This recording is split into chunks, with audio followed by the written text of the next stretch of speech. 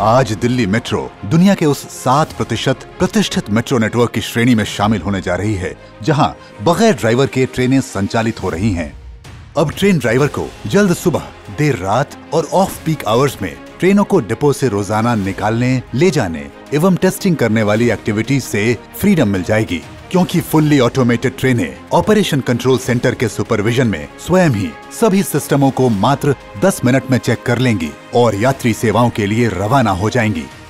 तकनीकी रूप से एडवांस्ड इन ट्रेनों में अब ह्यूमन एरर की गुंजाइश भी नहीं रहेगी। अत्याधुनिक टेक्नोलॉजी से लैस ये ट्रेनें पहले से ज़्यादा विश्वसनीय, नियमित, सुरक्षित और सुगम यात्रा का अनुभव कराएँगी। और जून 2021 तक सत्तावन किलोमीटर लंबी पिंक लाइन पर भी दौड़ने लगेंगी।